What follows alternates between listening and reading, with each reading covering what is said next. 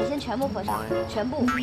好，然后再打开食指，好，盯着两个食指，盯着它，盯着它，不要靠近哦。回到一个你舒服的状态。